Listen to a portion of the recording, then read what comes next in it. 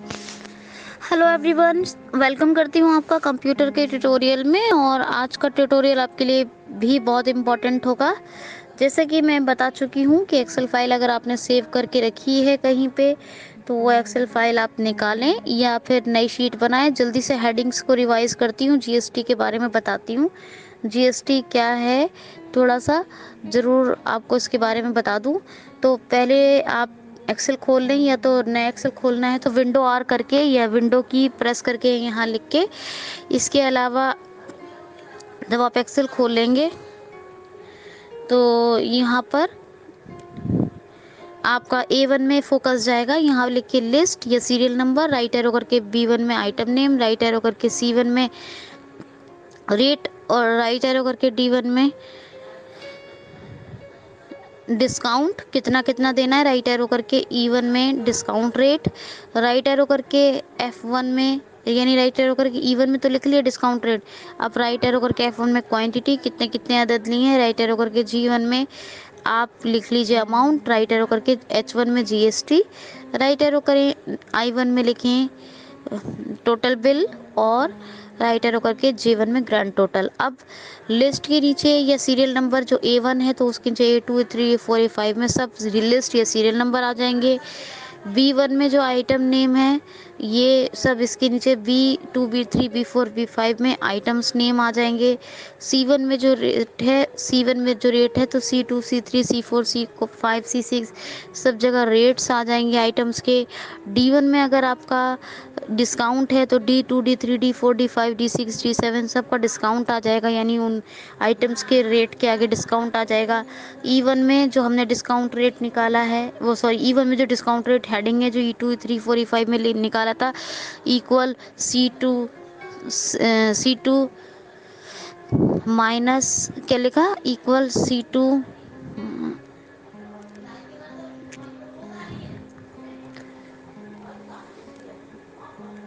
equal C two minus left parent C two slash one hundred multiply D two क्या equal C two minus left parent C two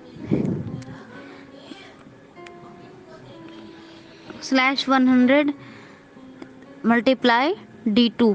इसी तरह C three, इसी तरह equal लगा के C three minus left parent C three divided by one hundred multiply by D three right parent control enter इसी तरह जो है, हमने क्या निकाला? ई फोर में equal C four minus left parent C four divided by one hundred multiply by D four right parent control enter तो इसी तरह हम निकालेंगे सी फाइव में। कैसे? कि सॉरी ई फाइव में। कैसे निकालेंगे ई फाइव ई सिक्स में सब जगह? जैसे सी फाइव है तो ई फाइव है तो यहाँ पे लगाएँगे सी फाइव ई सिक्स है तो C six minus left parent और फिर जो आपका है, जैसे ई सिक्स है, ये जो भी ई फाइव है तो वहाँ पे सी सिक्स या मतलब C five divided by one hundred multiply by D five या डी सिक्स जो भी है जो भी है, आपका डिस्काउंट वो आप और राइट पेरेंट कंट्रोल एंटर ये हो जाएगा डिस्काउंट रेट एफ़ वन में क्वांटिटी है तो F two F three four five में तो discount rate multiply by quantity ये आप निकाल लेंगे G two G three G four G five में. क्योंकि एफ़ वन में हमने क्या लिखा था? एफ़ टू में वन है, कोई आइटम कोई टू है, कोई थ्री है तो एफ़ कॉलम में तो वो आ जाएगा.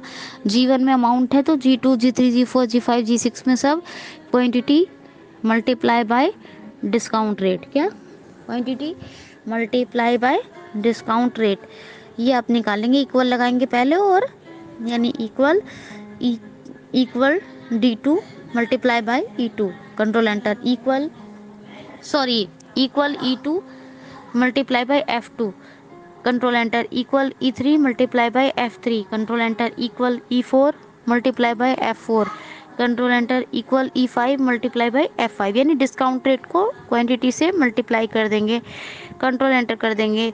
अब आपका एच वन में जीएसटी था, मैंने आपसे कहा था एच टू एच थ्री मान लीजिए मैंने बीस परसेंट जी लगाया है है ना?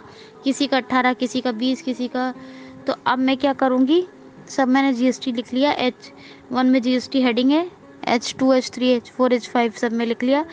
अब मैं आई वन में आऊँगी अब जहाँ पे लिखा हुआ है टोटल बिल और आई टू में निकालूँगी equal equal G two plus left parent G two divided by one hundred multiply by H two right parent control enter इसी तरह क्या equal G three plus